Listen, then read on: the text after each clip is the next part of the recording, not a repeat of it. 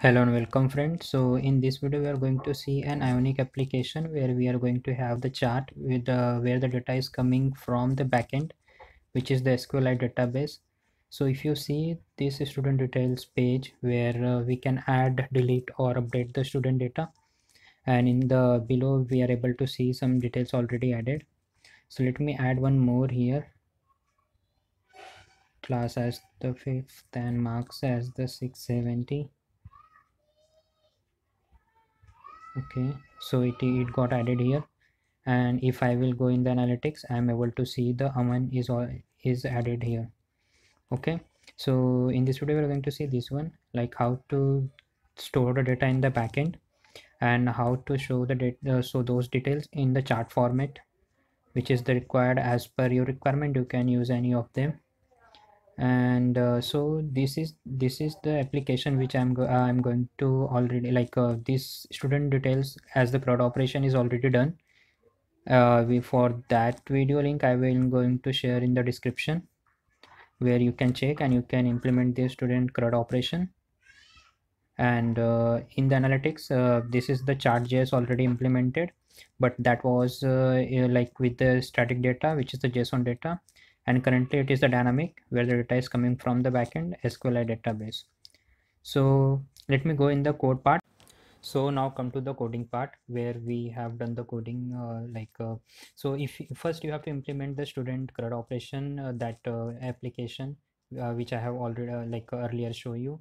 So I will share that link in the description. Just go through once again once with that and the one with the chart.js which is with the static JSON data where you will have the json data inside your asset directory input.json and this data we are going to we are fetching uh, from the this uh, uh, this ts file and where we are going to show that data in the chart.js so this one the static and here we are going to implement with this sqlite database.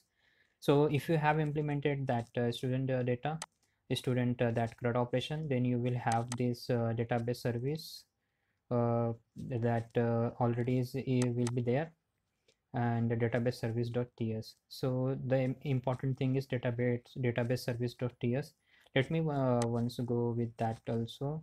So we will have the one interface as the student student id name class marks. Okay? So i'm not going to deep in that. Uh, it is already implemented and already discussed in the that student CRUD operation. Uh, here we will have the this uh, student script.sql load student data and uh, add student data get student by id update student delete student. This all functionality we have we already discussed in this uh, that uh, student CRUD operation. If you go inside the pages part you will have two pages where one page is the students where we will have uh, let me go with that html part directly. So inside that we will have one uh, this uh, form as the like student whatever the student which we need to insert we will have this form. And on click on this button uh, add student we are going to call the add student details function. So what it is going to do this add student details function let me open this one. So this is just going to add the student data in the backend like uh, calling this function at db dot add student data. So what is the db? db is my database service. Okay uh, where we have declared this one db as the that variable. Okay now html go once again. So at the below of that we are just showing the student uh, all the student records here. Okay on click on that we are just going to call the student dot id uh, like uh, we are going to pass that router link to this page. Which one page? This uh, individual student page. If you see here that we are going to have this page. And uh, this is a just form where uh, like uh, we will have already filled data. And once we click on the update it will it is just going to update that uh, details. And if you just go one up uh, we have we have called here also delete function. So the icon is there as the trash. And it is going to on click on that. We are going to call the delete function so let me go inside the student page.ts file. So here we are going to call this delete function here directly which is uh, data like uh, this one uh, is the db service. From we are getting this function from the db service. So let me now let me go with the chart part. So for doing the chart part you need to install the chart.js using npm install chart.js hyphen hyphen save so it will install the chart.js inside your uh, this project. And uh, let me go with the app module.ts and these are the left thing which uh, which is modified. So let me show you that also what things we have added here and what you need to also take care inside here so we have the http client module sqlite sqlite porter which we need to add here. And uh, inside the provider also we need to add the sqlite porter sqlite as well now come to the app component.ts file what we have done here. So here just i have changed the icons as the analytics. Students for uh, you can uh, icon as the people. That is uh, inside that part the student CRUD operation video. And modulo.ts also that routing part on the student id we are going to route the page on the student individual student page. Okay. So we have done with the app model app component and app routing module.ts file. Okay. Now let me come with this one. As we have created the side menu application so we will have the home page uh, that bar also. So here the like things come place that chart.js part. So before doing that you need to install this npm install chart.js hyphen hyphen save inside your command prompt. Sorry. Now come to the home.html home.page.html so this entire code like entire html part has been copied from that chart.js which uh chart.js example. I'm going to share that video link as well in in the description. You just uh, go with that. First try to implement like that student page that student CRUD operation and this chart chart.js with the combined one with the static data only and then try to with uh, try to do with the database part. So the main like the html is not the major thing. It is just uh, copied from that chart chart.js file. And if we come to the homepage.ts file this is the main file here. So what we have done here we need to like uh, import the view child also from the angular core. And this is a chart.js from the chart sorry this is the chart we have imported from the chart.js database service we need here as to get, get the data student records from the that database SQLite database and student uh, which is already defined inside the database service.ts let me show you that uh, interface we have the interface here as the student.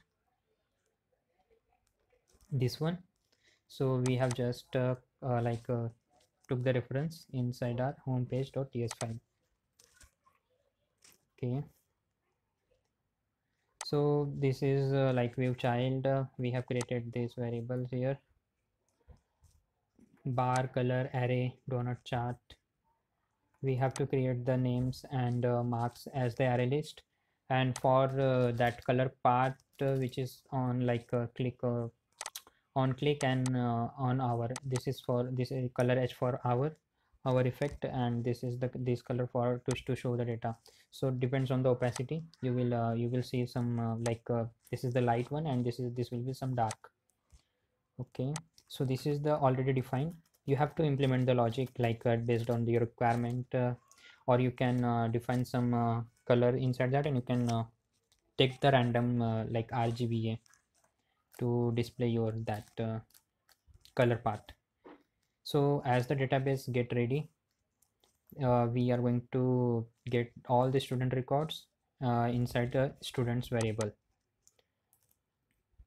This is the students array and this is the student which we are getting from the that interface which is defined in database service.ts file and on each iteration of these students uh, we are going to push that record inside my this one array. Like to create the chart we need to define this variable inside the array. So we are going to pass this one by one inside the array.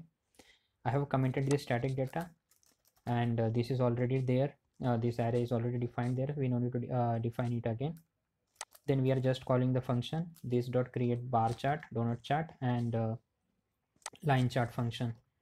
So like uh, whatever the value we have inside this uh, dot names this dot uh, like this dot marks and color and color edge that all things we are going to see there.